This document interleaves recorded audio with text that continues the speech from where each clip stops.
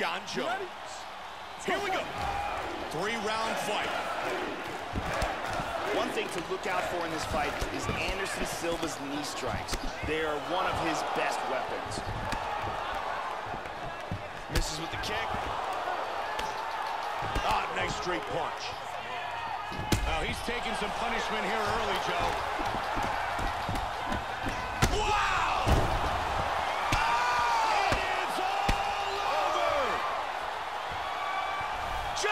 Jones.